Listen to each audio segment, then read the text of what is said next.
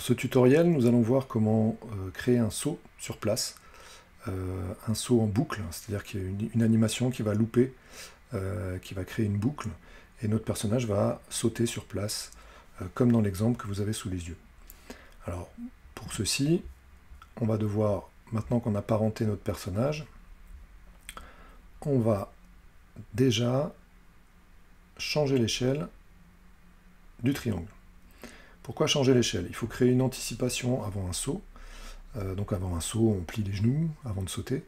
On va se créer une impulsion. Et pour ça, donc on va changer l'échelle. L'échelle, c'est S, le raccourci. Euh, je vais avancer de trois images. Donc le plus simple, c'est de taper 3. Ou alors, commande et l'incrément clavier vers la droite pour avancer de trois images. Et on va changer ses proportions l'agrandir ou le diminuer. On voit que le, cercle, lui aussi, suit la déformation. Ça, c'est parce qu'ils sont parentés. Donc je vais changer ces proportions, je vais mettre 110 en largeur et 90 en hauteur. Ce qui fait qu'il va s'écraser sur lui-même, mais il va, garder, il va garder le même volume. C'est important de garder le même volume, donc si j'augmente de 10% d'un côté, je diminue de 10% de l'autre. Là j'avance de 6 images, et ben, je vais faire l'inverse. Une fois qu'il va sauter, il va s'allonger. Donc là, si j'allonge en hauteur, en Y, je vais même aller jusqu'à 120, je vais diminuer, pareil, en largeur. Donc il va s'allonger et se déformer. Donc on voit qu'il y a une première impulsion et ensuite, une fois qu'il est en saut, il va se déformer en hauteur. Enfin, quand il est en haut de son impulsion, il va à nouveau avoir être écrasé. J'ai juste à copier-coller la deuxième image clé. J'avance de 3, 4, 5, 6. Voilà. Je vais reprendre la, première, la deuxième déformation, c'est-à-dire l'allongement, copier-coller. Et enfin, je vais avancer à nouveau de trois images pour revenir. Alors, une. Oui, dézoomer un petit peu. Je vais ramener voilà, ma zone de calcul pour vous montrer un peu ce que ça donne.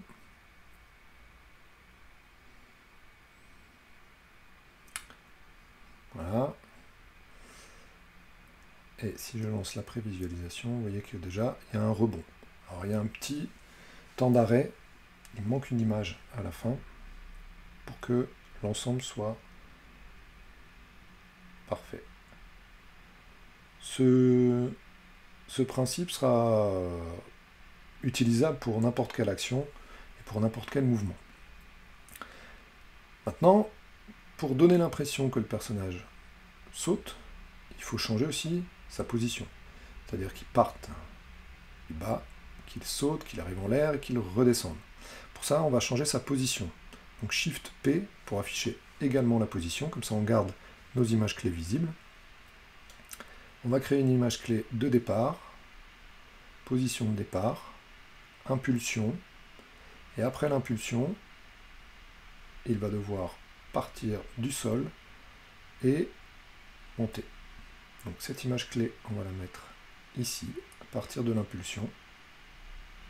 On va les caler sur les, sur les images, ce sera plus simple. Une fois qu'il est en l'air, il va s'écraser.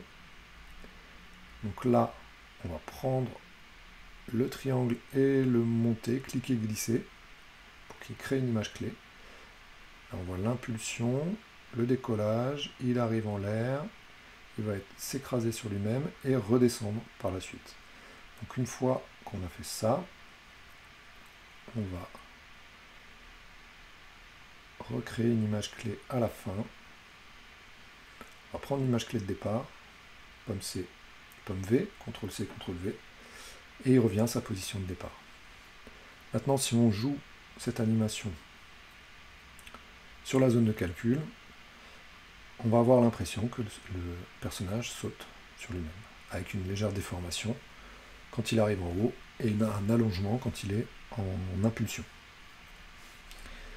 Alors, pour que l'animation dure un peu plus longtemps, puisque là on est sur une zone de 18 euh, images, donc même pas une seconde.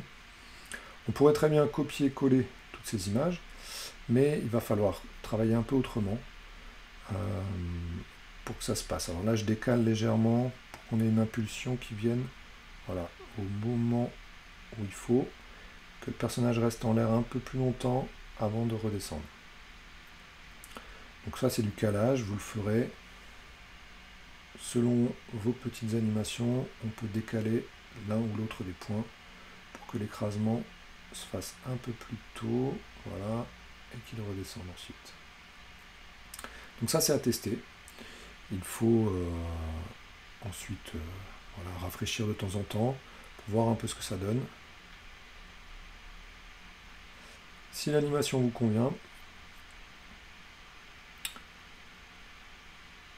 vous pouvez sélectionner toutes les images et clic droit, assistant d'image clé, lissage de vitesse.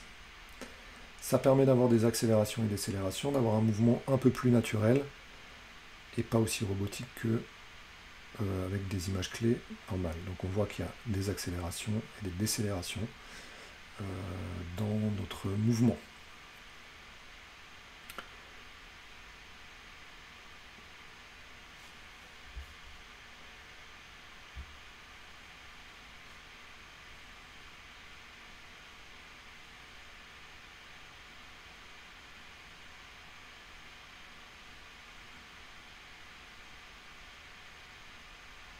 Tout est ajustable, on peut encore augmenter un petit peu la hauteur, parce qu'il se déforme beaucoup, donc il doit avoir une bonne impulsion. Voilà, faites attention à ne pas dépasser le cadre, pour que l'animation ne soit pas coupée, que le personnage ne soit pas coupé. Et là, on a quelque chose de plutôt naturel dans l'impulsion. Un petit tremblement au niveau de la tête, mais euh, voilà, selon... selon les propriétés physiques de vos formes, elles peuvent être plus ou moins molles. Là, on a vraiment une tête euh, toute molle qui va rebondir à l'impact au sol.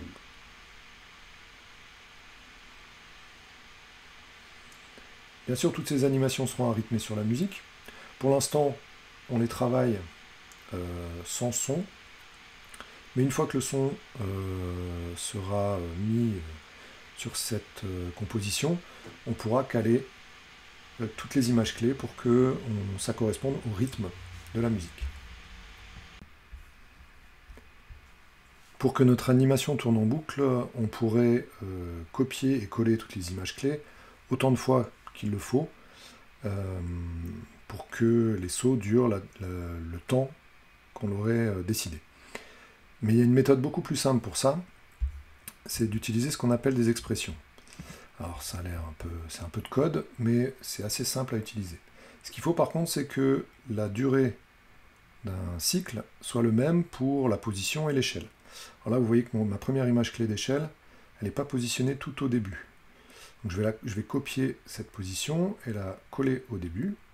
Voilà, comme ça on a un début et une fin qui sont exactement au même endroit. on va pouvoir répéter le cycle. Pour créer des expressions, on appuie sur Alt et on clique sur le chronomètre. Vous voyez qu'il y a une fenêtre. Et là, on va taper Loop. On vous propose plein de loops. Vous choisissez Loop Out, double-clic dessus. À l'intérieur des parenthèses, vous ouvrez les guillemets, donc tapez sur guillemets, et vous choisissez cycle. Ce que ça veut dire, c'est que, donc double-cliquez sur le cycle, voilà, qu'on vous propose. Ce que ça veut dire, c'est que tout le cycle qu'on a créé va être répété à l'infini, sur la durée de notre composition. Donc là, vous voyez que le personnage saute, mais il continue à sauter par la suite. Euh, si je fais une petite prévisualisation, on va étendre la zone de calcul, voilà, et que je lance ma prévisualisation, le personnage saute et se déforme, et ensuite saute, mais sans déformation. Alors il saute sans déformation, vous voyez que c'est pas très naturel, hein, ce saut euh, sans déformation. Euh, il saute sans déformation parce que j'ai mis une loupe, donc une boucle, sur la position, mais pas sur l'échelle. Je vais faire pareil pour l'échelle. D'abord, je vais double-cliquer, copier loop out cycle, clic avec Alt, donc Alt, clic sur le chronomètre, et ensuite je colle loop cycle. Et je clique à l'extérieur. Et maintenant, autant ma position que mon échelle sont loupées, c'est-à-dire tournent en boucle. Et il répète autant de fois sur la longueur de ma composition, autant de fois que nécessaire, ce saut. Je peux l'étendre encore un peu plus, et vous verrez que il va le répéter tout au long de la composition. Donc c'est un outil très pratique pour avoir, euh, quand on a des actions à répéter et qu'on n'a pas envie de copier-coller euh, toutes les images clés euh, et se perdre un petit peu dans ces copier-coller.